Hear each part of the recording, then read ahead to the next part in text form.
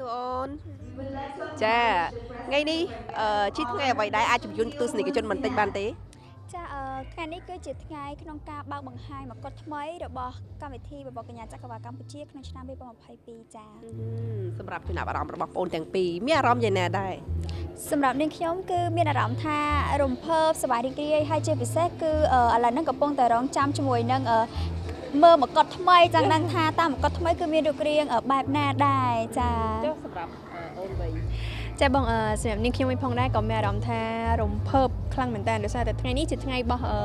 កម្មវិធីរបស់ទូតហ្វីលីពីនបងហើយថ្ងៃនេះផងដែរគឺយើងក៏បានបូករួមបញ្ចូលជាមួយនឹងការបើកនៅមកុដថ្មីហើយមានការចូលរួមពីសំណាក់អឺលោកជំទាវហ៊ុនស៊ីណាតចាហើយអឺមានអារម្មណ៍ថារំភើបដោយសារតែយើងមិននឹកស្មានថាកម្ពុជារបស់យើងបានធ្វើឡើងនៅមកុដថ្មីដែល មានតម្លៃរៀងគួរសមដែរបងអញ្ចឹងចាំមើលរូបរាងថ្មីចាហើយក្នុងនោះផងដែរសម្រាប់អឺអូនវិញម៉ារ៉ាឌីនឹងត្រូវទេមកុដនៅឆ្នាំនេះ អារម្មណ៍រំភើបយ៉ាងណាហើយក៏ចង់សួរទៅអឺអេលីណាដូចគ្នាតកតងជាមួយនឹងអារម្មណ៍តែផ្ទេចង់ឲ្យម៉ាអឺម៉ារ៉ាឌីបង្ហាញអារម្មណ៍សិនហើយចាំបន្ទាប់មកចាំឲ្យអេលីណាចែករំលែកជាមួយនឹងអារម្មណ៍ពេលដែលផ្ទេនឹងយ៉ាងណាដែរសម្រាប់អារម្មណ៍របស់នាងខ្ញុំអឺទី1គឺសប្បាយចិត្តដោយសារតែអឺយើងនឹងរកឃើញជាមួយនឹងបេក្ខនារីដែលគាត់តំណាងឲ្យប្រទេសកម្ពុជាសម្រាប់ការប្រកួតនៅលើឆាកអន្តរជាតិដែលគាត់ពោរពេញទៅដោយសមត្ថភាពចំណេះដឹងឆាប់ឆាប់ៗនេះដែរហើយហើយអឺម្យ៉ាងវិញទៀតគឺអារម្មណ៍អឺលក្ខណៈថាអត់តន់អស់ចិត្តប៉ុន្តែក៏អឺធ្វើមិនដោយសារតែយើងត្រូវដល់ឆ្នាំដែលត្រូវអឺអឺចាប់ផ្ទះតំណែងរបស់យើងឲ្យទៅអឺបេក្ខនារីថ្មីដែលគាត់អឺមានសមត្ថភាពអញ្ចឹងក៏ជូនពរឲ្យគាត់ទទួលបានជោគជ័យជាមួយនឹងអឺថ្ងៃផ្ដាច់ព្រាត់ក្នុងកម្មវិធីអឺ Miss Universe Cambodia ក្នុងឆ្នាំ2022នេះហើយក៏ជូនពរឲ្យគាត់ទទួលបានជោគជ័យនៅលើឆាកអន្តរជាតិដែរចា៎ ហើយចង់ឲ្យអេលីណា share ជាមួយ experience បន្តិច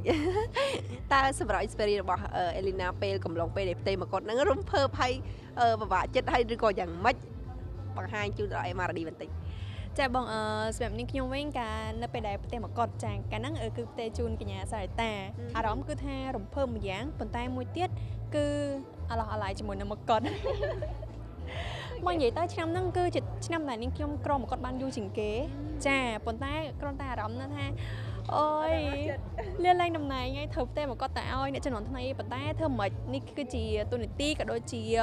អឺជាច្បាប់ដែលយើងត្រូវតែផ្ទះមកុដថ្មីប៉ុន្តែទោះជាយ៉ាងណាក៏ដោយយើងនៅតែមានមកុដរំដួលមួយទៀតដែលត្រូវក្រងសម្រាប់អឺយើងឆ្នាំចាស់អញ្ចឹងអត់ជាបញ្ហាអីទេគ្រាន់តែឲ្យអឺចង់ប្រាប់ម៉ាក់យីថាឲ្យគាត់ ធ្វើអារម្មណ៍ទៅយ៉ាងណាយើងយើងជារៀមច្បងយើងបានពាក់ពេញមួយឆ្នាំអីចឹងឲ្យអ្នកថ្មីគេក្រងម្ដងចាហើយអឺក៏ចង់សួរបន្តិចដែរចំពោះបងប្អូនទាំងពីរឃើញថាបានធ្វើជាពិធីការនីនៅក្នុងវគ្គប្រកួតបឋមតើក្នុងកំឡុងពេលប្រកួតបឋមបង្ហាញខ្លួននោះតើមានអឺម្ចាស់ជ័យលីភីនៅក្នុងចិត្តហើយឬនៅ សម្លឹងឃើញអឺ បៃការីរូបណាដែរបង្ហើបបន្តិចក៏បានដែរ